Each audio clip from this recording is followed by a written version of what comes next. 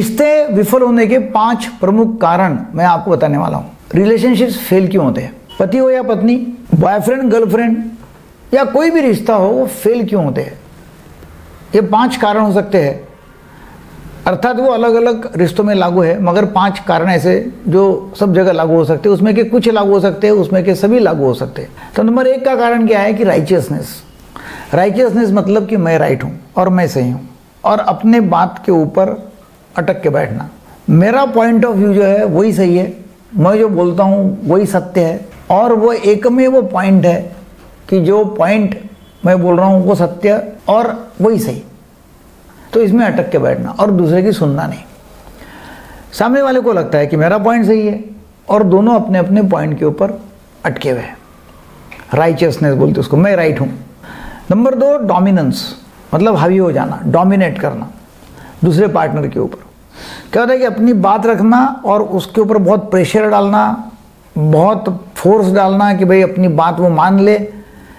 फिर वो क्या होता है, एक दो बार तो मान लेता है।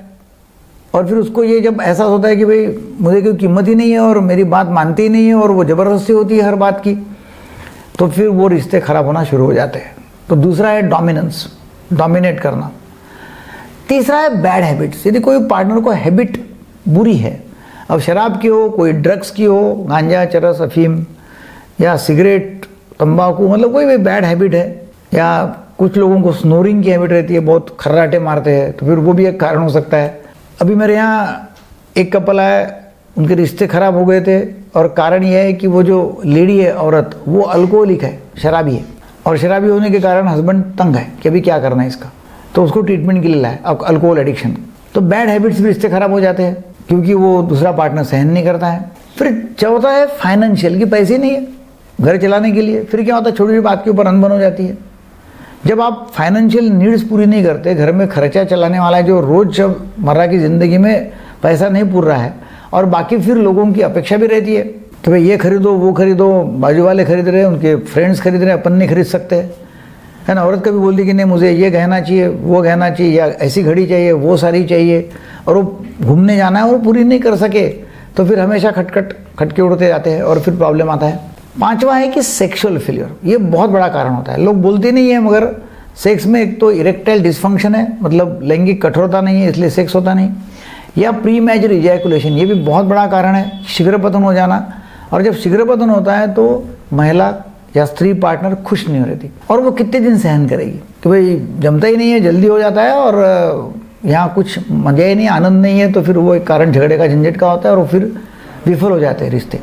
तो ऐसे पाँच कारण हैं और वो कारण यदि हम दूर करते हैं या दूर करने के लिए उसके तरफ़ आगे बढ़ते हैं, कोशिश करते हैं तो डेफिनेटली रिश्ते अच्छे हो जाएँगे।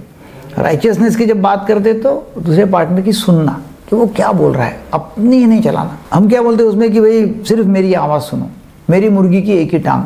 नहीं, ऐसा नहीं करने का सुनना। सुनना चालू करेंगे तो बहुत फ़र्क पड़ेगा। डोमिनेट करना है, कभी डोमिनेट हो जाना। वो भी एक अच्छा है, लव का, प्यार का एक तरीका कि डोमिनेट हो जाओ। हावी होने तो सामने वाले पार्टनर को।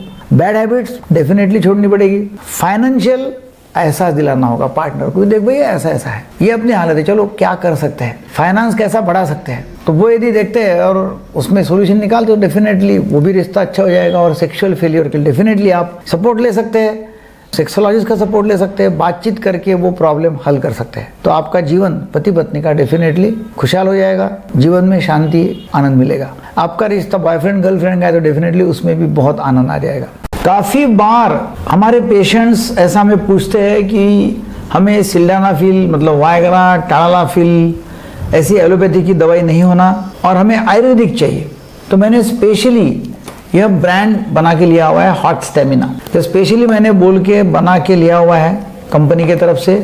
ये कैप्सूल है, ये दस कैप्सूल्स है और ये पूरा डब्बा मिलता है। तो इसमें मेनली जो है जो काम का है, वो है गोल्ड है इसमें. गोल्ड मतलब सोना, शिलाजित मुसई केसर एंड शुद्ध मकर ध्वज.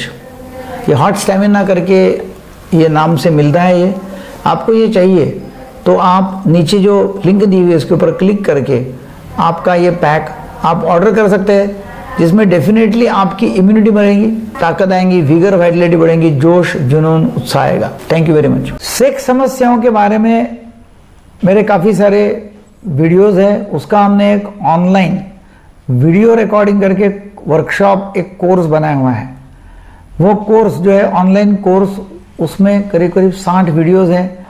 और उसमें हिप्नोटिज्म की भी है कि हिप्नोटिज्म के माध्यम से नपुंसकत्व, शीघ्र पतन कैसे ठीक करना और काफ़ी सारी सेक्स समस्याओं के बारे में जानकारी दी हुई है।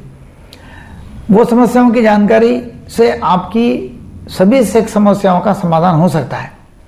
तो ये आप ऑनलाइन रिकॉर्डिंग कोर्स जो है तो ये ऑनलाइन रिकॉर्डेड कोर्स आप हमारे ऐप से ले सकते हैं। उसका डिस्क्रिप्शन नीचे दिया हुआ है लिंक दी हुई है ऐप की। और वैसे ही आप टेलीग्राम ग्रुप से आप यदि जुड़ जाते हैं, हमारे व्हाट्सएप ग्रुप से जुड़ जाते हैं, या वेबसाइट से तो आपको ये ऑनलाइन कोर्स के बारे में जानकारी हो जाएगी। ये ऑनलाइन कोर्स करके आपके सभी समस्याओं का समाधान हो जाएगा। आप नीचे जो नंबर दिए, उसके ऊपर भी कॉल करके वो ऑनलाइन कोर्स खरीद सकते हैं। इंस्टा की भी लिंक दी हुई है, उसमें आप डायरेक्ट पेमेंट कर सकते हैं। Thank you very much